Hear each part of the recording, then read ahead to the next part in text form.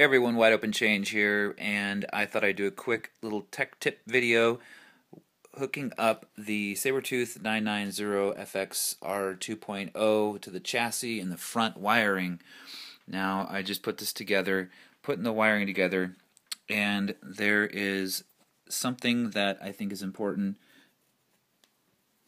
when connecting your wires from the front of your tower to your motherboard.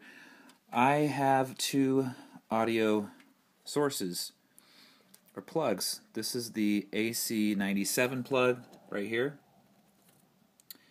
And the one I have plugged in is the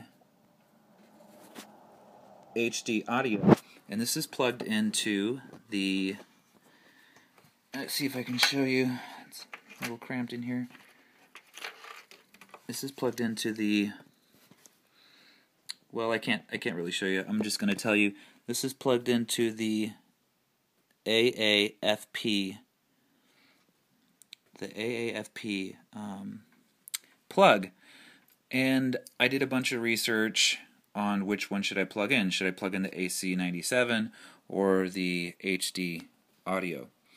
And the Sabertooth 990FX R2.0 supports HD audio.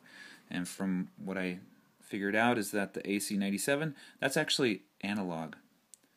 And the HD audio is obviously digital. So that's what you do. You plug that guy in. This guy just kind of dangles there.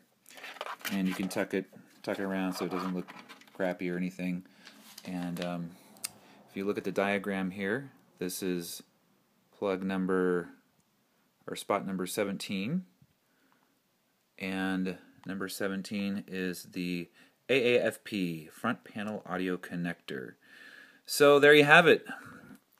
That's what I figured out. I thought if I'd get this out here, I could share, and it would save some people a lot of trouble. There's a bunch of forums and talking, and people trying to figure out how to um, hook this up, but there's really no like specific video on this, so I thought it'd be helpful.